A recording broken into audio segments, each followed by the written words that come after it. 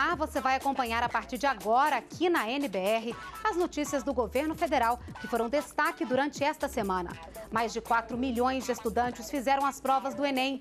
Pesquisa quer traçar o perfil do universitário brasileiro. Apresentada aos estados, proposta de unificação do imposto sobre circulação de mercadorias e serviços. O Notícias da Semana começa agora.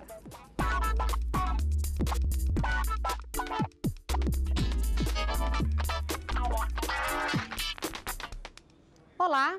No último fim de semana, mais de 4 milhões de estudantes fizeram o Exame Nacional do Ensino Médio. Segundo o Ministério da Educação, os incidentes foram pequenos, considerando a dimensão do Enem, e não comprometeram o exame. A reportagem é de Ricardo Carandina. 4 milhões 175 mil pessoas fizeram as provas do Enem no último fim de semana. É o que mostra um levantamento preliminar do Ministério da Educação. Foi uma maratona de nove horas de provas em dois dias que reuniu estudantes de todas as idades. O exame, que pode ser usado pelas universidades federais como forma de seleção, é visto por muitos como uma perspectiva de futuro. Fazendo o Enem para melhorar meus conhecimentos, fazer um, um teste, fazer o vestibular, né? Estou fazendo o Enem para chances de intercâmbios no futuro, essas coisas que são pré-requisitos. Milhões de brasileiros e brasileiras foram atrás de um sonho, de uma oportunidade de poder entrar no, no ensino superior, que infelizmente ainda é um espaço de poucos brasileiros. Este ano, quase 28% dos inscritos faltaram às provas. Dos que fizeram, muitos elogiaram a avaliação. Eu acho essa prova bem mais alto nível e bem condizente com o ensino médio que eu cursei, pelo menos.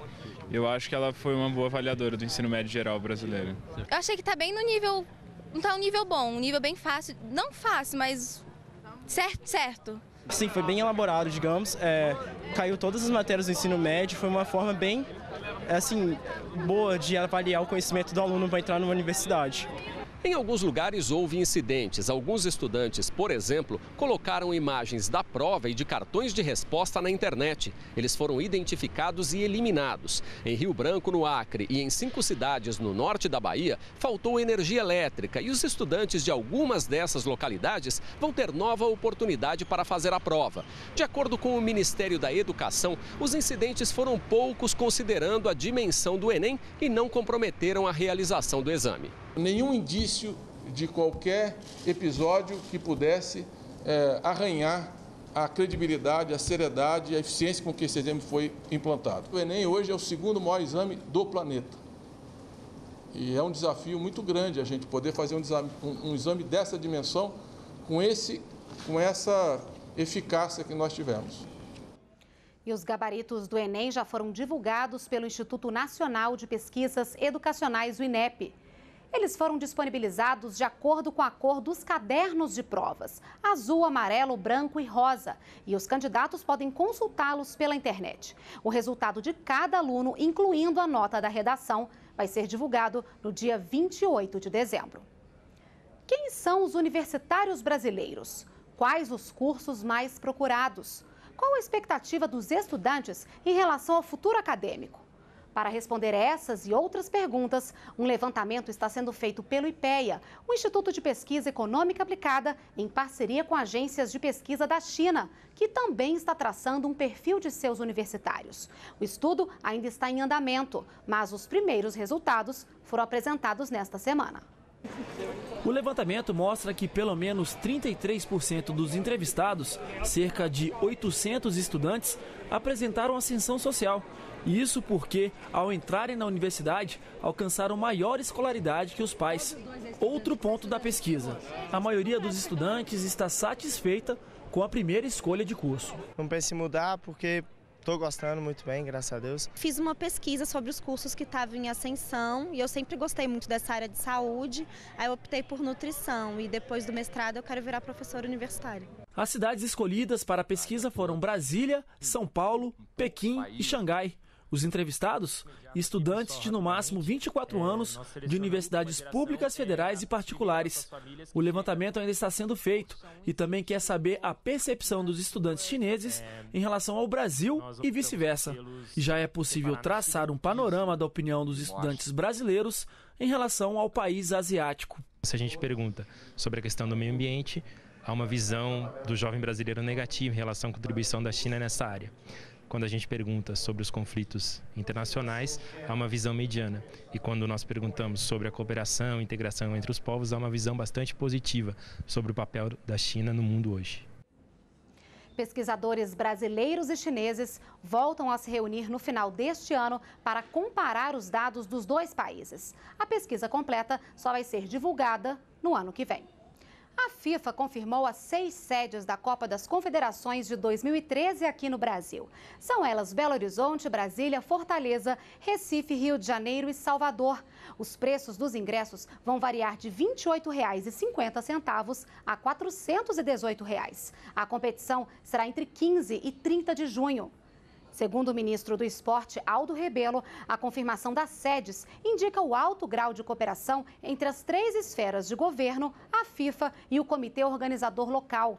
De acordo com o ministro, o povo brasileiro está orgulhoso de receber esse grande evento esportivo no ano que vem e a Copa do Mundo de Futebol em 2014. Nós temos segurança de que as obras dos estádios e as obras essenciais de mobilidade no entorno dos estádios serão entregues para a Copa das Confederações. O maior interessado no êxito desse empreendimento é o Brasil. Essa é a nossa Copa do Mundo, que buscará, com todo o seu empenho, fazer dele um acontecimento exemplar em organização, em acolhimento, em recepção, para que o espírito da Copa, da esperança, do humanismo, da solidariedade, da integração entre os povos e as nações, da negação do racismo, da valorização da diversidade cultural, para que tudo isso se resuma num grande evento. O Brasil vai conceder visto de residência permanente a refugiados de Angola e da Libéria que já vivem aqui no país. A decisão é do Ministério da Justiça. O refúgio concedido vai ser cessado e transformado em residência permanente porque Angola e Libéria alcançaram a paz após vários anos de conflitos civis. Se tratam de pessoas que eh, já estão no país há quase 10 anos, é, integradas à nossa sociedade, já contribuem para o nosso desenvolvimento e, portanto, já até atendem os requisitos básicos para se tornarem residentes permanentes. Este angolano veio para o Brasil estudar. Cursa a Faculdade de Relações Internacionais na Universidade de Brasília. Em 2009, conseguiu o visto permanente e hoje trabalha como professor do ensino fundamental. Ele não está na condição de refugiado, mas acredita que a medida vai ajudar a muitos estrangeiros na conquista de um lugar definitivo para viver. Eu vi né, e convivi com refugiados em Angola, né, que saíam de outras províncias, iam para Angola, para Luanda, desculpa. É, é uma situação terrível, né? Eu não, não tive necessidade disso, mas tem pessoas que têm necessidade, sim, de, de serem acolhidas, de terem uma residência, né? Saem de condições muito precárias. De acordo com dados do Comitê Nacional para os Refugiados do Ministério da Justiça, são 4.650 refugiados vivendo no país reconhecidos pelo governo brasileiro. A maioria é de origem africana. Os angolanos formam o maior grupo. A ideia é de que seja um movimento, um movimento totalmente simplificado, sem maiores burocracias. Cada um receberá em sua residência uma comunicação individualizada e, a partir dessa notificação, ele terá 90 dias para se apresentar à Polícia Federal. Os detalhes sobre a concessão de vistos estão no site do Ministério da Justiça. E 82 milhões de reais vão ser repassados pelo Ministério do Desenvolvimento Social e Combate à Fome ao Banco do Nordeste para a construção de cisternas no semiárido brasileiro. O contrato foi assinado nesta semana e os recursos vão ser distribuídos até novembro do ano que vem. As obras serão feitas na Bahia, Ceará, Paraíba e no norte de Minas Gerais. O contrato assinado nesta segunda-feira prevê a construção de 28 mil cisternas para captação e armazenamento de água da chuva para o consumo. Famílias de 37 municípios do semiárido devem ser beneficiadas. O critério é estar no semiárido, ser um agricultor familiar, pobre do cadastro único e precisar de água e, e, não ser uma comunidade. Porque quando são comunidades maiores, a gente acaba priorizando ter sistema simplificado, ter pequenas barragens. Quando são propriedades isoladas, é que o ideal é que a gente construa cisternas, que na verdade é um reservatório. Recolhe água da chuva quando chove e agora, nesse período que nós estamos sendo uma estiagem prolongada, a gente está conseguindo encher as cisternas usando o caminhão-pipa. Cada cisterna pode armazenar 16 mil litros de água e é suficiente para abastecer uma família de cinco pessoas por um período de seca de oito meses. Em 2011, 83 mil foram entregues, com um investimento de 380 milhões de reais em reservatórios para consumo e 440 milhões de reais em cisternas para produção de alimentos. Esses recursos são a fundo perdido essas, essas famílias não vão, não vão necessitar fazer o pagamento. Acho que esse é um fato bastante é, importante e relevante para essas famílias que estão, notadamente, especificamente nas comunidades mais distantes. Porque a gente fala, às vezes, está próximo de uma cidade, uma cidade tem mais condições, mas essas são escolhidas aquelas que têm menos condições. E a presidenta Dilma Rousseff e o ministro da Integração Nacional, Fernando Bezerra, anunciaram a expansão do repasse de recursos federais para o combate à seca que atinge o semiárido nordestino. O Garantia Safra e o Bolsa Estiagem são alguns dos programas que vão ser ampliados. Uma linha de crédito emergencial oferecida pelo Banco do Nordeste também foi reforçada. No total, são 1 bilhão e 800 milhões de reais para a região que sofre com a seca. O ministro da Fazenda Guido Mantega se reuniu com governadores e apresentou uma proposta de unificação do imposto sobre circulação de mercadorias e serviços interestadual, o ICMS, em 4%. Atualmente, as alíquotas interestaduais variam e chegam até 12%. O objetivo é pôr um fim à guerra fiscal entre os estados que usam o ICMS como incentivo para atrair investimentos. Hoje nós temos um sistema de ICMS complicado, um sistema que traz insegurança para os investidores. São 27 regimes diferentes de ICMS e o mais grave é a guerra fiscal que ocorre de um estado para outro estado. Então, o problema é que a guerra fiscal é considerada ilegal pelo Supremo. É, várias é, ADINs têm sido colocadas no Supremo ações diretas de inconstitucionalidade, considerando é, esse tipo de benefício fiscal como inconstitucional.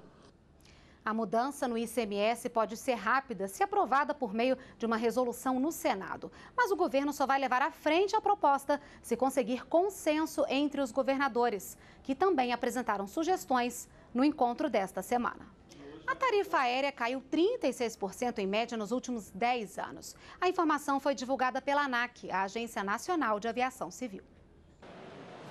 O custo médio do bilhete doméstico foi de R$ 272,64 no primeiro semestre de 2012, em relação ao mesmo período de 2002, quando o preço médio era de R$ 427,16, um valor 36,2% menor. Os valores apresentados no relatório da Agência Nacional de Aviação Civil são calculados com base nos dados das tarifas comercializadas pelas empresas aéreas mensalmente registradas na ANAC e são atualizados pelo IPCA, o Índice Nacional de Preços ao Consumidor Amplo. O índice do IBGE é utilizado pelo governo para medir a inflação. Até o final deste ano, crianças das regiões Centro-Oeste, Sul e Sudeste vão receber doses de suplementação de vitamina A. A falta deste nutriente pode provocar infecções graves e até causar cegueira. A ação faz parte do Brasil Carinhoso, que tem a meta de reduzir a pobreza extrema em famílias com crianças de até 5 anos. Nesta unidade de saúde em Girassol, no município de Cocalzinho de Goiás, oito funcionários receberam treinamento para implantar o programa de suplementação de vitamina A do Ministério da Saúde. E há dois meses distribui o medicamento para crianças de seis meses a cinco anos incompletos. Sem essa vitamina A, a deficiência pode prejudicar os olhos, que é a visão, que se chama cegueira noturna, é, infecções repetitivas como diarreia, e sim para um melhor desenvolvimento da criança. A distribuição de vitamina A começou pelos municípios do Nordeste. Hoje está sendo ampliada para municípios do Centro-Oeste, Sul e Sudeste. Em todo o país, 2 milhões e 600 mil crianças já receberam a dose do nutriente. A ação faz parte do programa Brasil Carinhoso. O programa ele será expandido de 2.052 municípios para 3.034 municípios brasileiros. Isso significa atender aproximadamente 7,8 milhões de crianças na faixa etária de 6 meses a 59 meses. As crianças elas serão atendidas nas unidades básicas de saúde, tanto nas campanhas de vacinação como na rotina do atendimento na UBS. Para receber o medicamento é simples, basta ir ao posto de saúde e pedir, como fez Eliane. Os meninos Vitor, de 2, e Rafael, de 4 anos, receberam a dose do remédio na sala de vacina. Vitor chorou. Com Rafael, foi tranquilo. É importante pela saúde deles, né? Saúde, para todo mundo, né? As crianças. Em casa fica fácil entender por que Eliane se preocupa com a saúde dos filhos. É que nem sempre na mesa tem alimentos que contêm a vitamina A. Do bolacha, do leite, porque nem sempre eu tenho, né? Por isso que eu levo no posto de saúde para tomar vitamina A. É a vida da criança, né? Então ela está combatendo a, a, várias, a várias doenças, ela está ela tá aumentando, ela está melhorando o desenvolvimento e o crescimento da sua criança. Então a mãe ela tem todo o direito. Ela chega, somente chegando, pede, quer fazer a suplementação da vitamina, ela automaticamente, imediatamente ela é atendida, tanto na triagem como na sala de vacina ou sim na sala do PSF. Reconhecimento àqueles que contribuem com a cultura do nosso país. É a Ordem do Mérito Cultural, que premiou na segunda-feira, Dia Nacional da Cultura, pessoas, grupos artísticos e instituições. Ao todo foram 41 premiados e o grande homenageado desta edição foi Luiz Gonzaga, que completaria 100 anos. Sejam bem-vindos. A cerimônia da Ordem do Mérito Cultural marca as homenagens ao Dia Nacional da Cultura, comemorado nesta segunda-feira, dia 5 de novembro, data do aniversário do jornalista Rui Barbosa. A ordem foi criada para homenagear quem contribui com a cultura do país. A escolha é feita por uma comissão técnica e qualquer pessoa pode indicar alguém ou uma instituição para ser homenageada. Este ano foram 41 premiados, entre eles a ministra da Cultura, Marta Suplicy. No evento, ela falou dos desafios da cultura no Brasil. Sendo aprovado o Vale Cultura, o empregador vai poder dar, através de incentivo fiscal, 50 reais para o empregado, que vai usar no que ele quiser. Isso é muito bom, ele vai decidir o que ele quer comprar. Também receberam o prêmio personalidades como o presidente do Senado, José Sarney, e artistas como Elba Ramalho, Marieta Severo e Alceu Valença. Em seu discurso, a presidenta Dilma Rousseff ressaltou que é fundamental reconhecer quem contribui para o crescimento e para a construção da cultura brasileira. Com a comenda que entregamos hoje, traduzimos em justo reconhecimento o papel desses artistas e criadores que nos honram. Somos plurais em nossa cultura e temos o dever de continuar a sê-lo. A cada edição, um nome é homenageado. Este ano foi a vez de Luiz Gonzaga.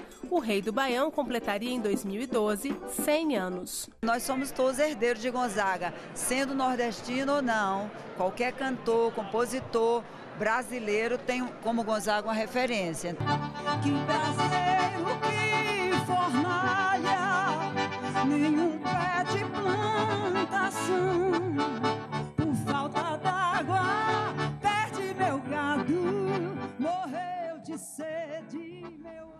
O Notícias da Semana fica por aqui. Na semana que vem, voltamos com outros assuntos de destaque do governo. Continue com a gente na NBR, a TV do Governo Federal.